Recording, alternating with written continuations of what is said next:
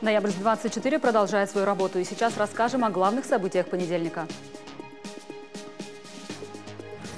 Давно вошли в обиход. Все ли готовы соблюдать масочный режим?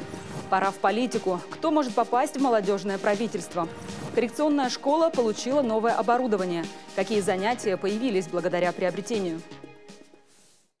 В городской больнице Ноябрьска готовят дополнительные места для заболевших ковид. Развернут койки уже завтра, сообщила глава регионального оперштаба замгубернатора Татьяна Бучкова. Необходимость подготовки дополнительных мест для пациентов в оперштабе объясняют ежедневным приростом заболевших, в том числе ОРВИ и гриппом. По последним данным, в стране почти 11 тысяч новых заболевших, 145 на Ямале. В Новом Уренгое откроют ранее закрытый ковид-госпиталь, который находится на базе Новоуренгойского газохимического комплекса. Количество пациентов с коронавирусом в стационаре растет. За несколько дней число занятых коек выросло с 70 до 90. В инфекционный госпиталь переведут тех, кто болеет в легкой форме. Вместе с тем в ноябрьске усиливают контроль за соблюдением санитарных норм. Предприниматели обращаются к жителям с просьбой внимательнее относиться ко всем требованиям. Маски, перчатки, санитайзеры – все это настолько прочно вошло в нашу жизнь за последние полгода, что при входе в общественное место мы используем средства защиты уже автоматически. Во многих магазинах около входа дежурит сотрудник охраны, который напоминает забывчивым горожанам о санитарных правилах. А вот внутри, выбирая продукты, некоторые расслабляются. Жарко, неудобно дышать, маска закрывает обзор. Однако врачи не устают напоминать, максимальной защиты можно достигнуть лишь тогда, когда маска надета правильно. Мы здесь надеемся все-таки на социальную ответственность наших покупателей. Маски должны полностью закрывать и нос, и рот. Только так мы сможем обеспечить свою собственную безопасность. Я просто говорю, она сползла. Конечно. Это на, на наша защита, наши дети, наши внуки. О себе не позаботишься, никто не позаботится. Эпидемия, это что ж делать, это, это понимаем. Просто немножко напрягает, как бы, всегда. как Это уже иной раз из машины выйдешь без маски, как, такое ощущение, как будто без одежды. Сотрудники магазинов к вынужденным мерам тоже уже привыкли. Дважды в день измерение температуры, каждые два часа обработка всех поручней и тележек. Для защиты кассиров и продавцов установили специальные экраны, а на полу разметка для соблюдения дистанции. На всех кассах э, на полу нанесена разметка. Кроме того, дистанцирование можно соблюдать с помощью покупательской тележки. Она примерно в том же размере. Большинство жителей Ноябрьска к санитарным требованиям относятся спокойно. Правда, встречаются и те, кто на отрез отказывается их соблюдать. А между тем, постановление губернатора запрещает обслуживать посетителей без масок в магазинах, общественном транспорте и других местах. До серьезных конфликтов дело пока не дошло. Чего не скажешь о других городах. Вот эти кадры из Самары. Водитель маршрутки отказался ехать, пока салон не покинет пассажирка без маски. В итоге девушку просто вытолкали. Сейчас дверь закроем, пускай уберите ее от нее. В большинстве своем люди, конечно же, у нас адекватные, люди относятся к этому с пониманием, и в абсолютном большинстве все выполняют требования, которые заставляют выполнять нас. Ну и, конечно, встречаются некоторые противники, диссиденты, которые не хотят э, подчиняться каким-то общим правилам в силу их субъективных каких-то причин. Не просто сейчас приходится и заведением общепита. Количество посадочных мест в залах снижено наполовину. Постоянная санобработка, проветривание и обеззараживание. Затраты выросли, число посетителей снизилось. Но предприниматели признаются, готовы работать в условиях даже таких ограничений. Нам жизненно важно продолжать работать. И, наверное, я озвучу мысль, которая, которая ну, у всех на устах, это второго такого закрытия мы не переживем. Отнеситесь э, с ответственностью, с полной ответственностью э, к тому, что э, у нас на сегодня требует Роспотребнадзор. И выполняйте эти требования, чтобы нам обратно не откатиться в тот печальный момент, который был весной. Предприниматели каждый день с опаской следят за цифрами статистики по числу заболевших. Возвращаться к весенним жестким ограничительным мерам и закрытию целого ряда отраслей не хочет никто. Но избежать этого можно только совместными усилиями, если каждый будет ответственно подходить к выполнению требований. Евгения Демина, Сергей Павлов, Ноябрьск, 24. Тем временем доноров в ноябрьске просят самостоятельно проводить термометрию. Для того, чтобы процедура сдачи крови прошла благополучно, необходимо исключить медицинский отвод. В связи с этим потенциальные доноры должны измерить температуру дома до посещения медучреждения. Сейчас в отделении усилены меры безопасности коронавируса. Проводится санобработка, вентилирование, дополнительные осмотры медицинского персонала. А пострадавшие из-за пандемии бизнесмены Ямала получили больше миллиона на ЖКУ. Такие данные приводит региональный департамент экономики. По информации ведомства, компенсацию на коммуналку получили уже 72 ямальских предпринимателя. На субсидию смогут рассчитывать предприниматели из списка наиболее пострадавших отраслей экономики. Чтобы получить деньги, нужно обратиться в местную администрацию. Выплаты покроют расходы на ЖКУ из-за простоя во время режима повышенной готовности. В ноябрьске ищут хулиганов, испортивших новый сквер. На объектах в обновленной зоне отдыха на улице Советской появились так называемые теги – подписи райтеров.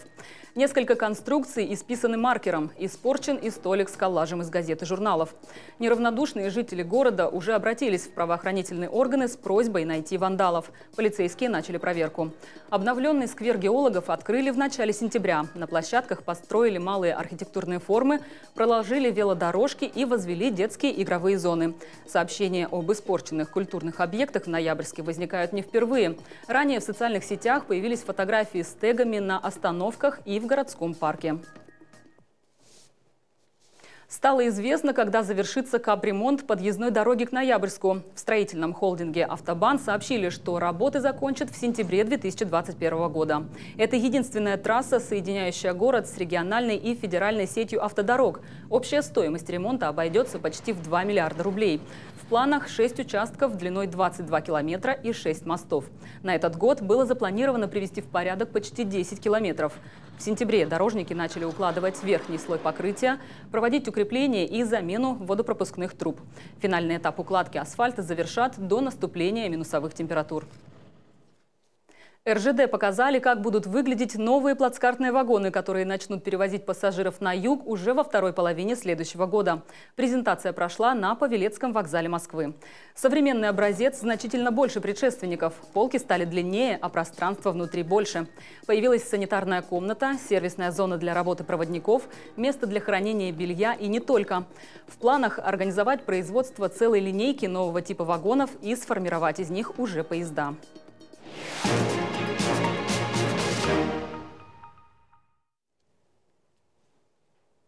Завершился прием документов от желающих попасть в молодежное правительство Ямала. Это будет уже пятый созыв. От ноябрьска в списке претендентов 13 человек.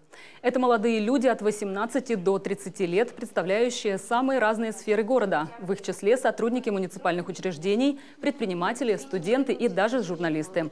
Каждому необходимо было до 4 октября предоставить документы, заполненную анкету и свой проект, который он планирует реализовать в течение следующих двух лет. Молодежное правительство ЯНАУ я подаюсь проектом, который называется «Героям Ямала посвящается». 10 декабря мы празднуем круглую дату, это 90-летие образования Ямал-Ненецкого автономного округа. В связи с этим хотелось бы рассказать э, нашим ребятам, нашей молодежи о том, какой вклад э, весомый они внесли в годы Великой Отечественной войны. Все-таки у нас тыловой регион, и э, у нас не велись открытые боевые действия, поэтому хочу рассказать об Оленно Э, транспортных отрядах и о рыбоконсервном заводе, который внес огромную лепту для нашей всеобщей победы. Проекты все разные, интересные, и поэтому борьба будет непростая. Молодежное правительство Ямала – это совещательный орган, который реализует успешные практики и инициативы молодых северян. Традиционно в состав входят 13 человек, представители всех муниципалитетов округа. Итоги конкурса подведут во второй половине октября. На этой неделе с 5 по 11 октября должна собраться конкурсная комиссия под председательством главы города Ноябрьска. И в течение трех дней, э, это следующий понедельник, вторник, среда, э, документы от трех кандидатов города Ноябрьска должны будут направлены в город Салихард. И там состоится второй этап. Он будет дистанционный, э, с применением интернет-связи, видеоконференц-связи. Будет конкурс лидерский, и будет сформирован новый пятый состав молодежного правительства. Настоящая гончарная мастерская, фотоателье и даже собственная полиграфия. Подарок, о котором могли только мечтать и ученики, и учителя. Коррекционная школа получила современное оборудование. Теперь дети, будучи еще школьниками, могут познакомиться с разными профессиями. Из бесформенного куска глины получаются предметы интерьера. Лепка развивает фантазию и моторику. Небольшие вазы и чашки – то, что уже сделано. С первого занятия прошел всего месяц, а в голове у школьников уже зреют творческие планы. Я хочу поехать к папе и э, открыть там мастерскую из глины. И ты там будешь всем показывать, что ты умеешь? Да, потом продавать.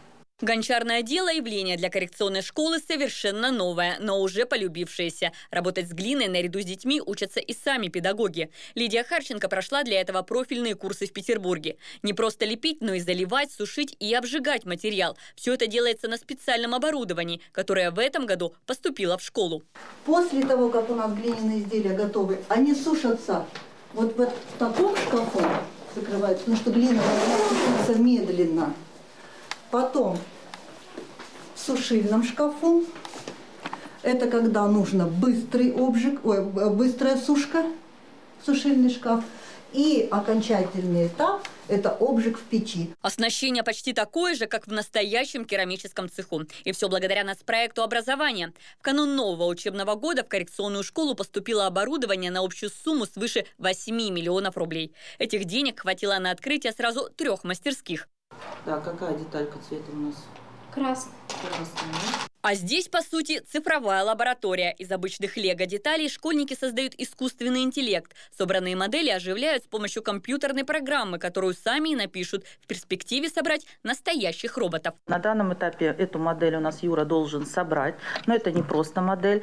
А, у нас э, есть программа в дальнейшем. Да? То есть мы сейчас, э, сейчас мы ее соберем, а в дальнейшем мы будем учиться программировать для того, чтобы эта модель не просто была моделью, а она еще и функционировала.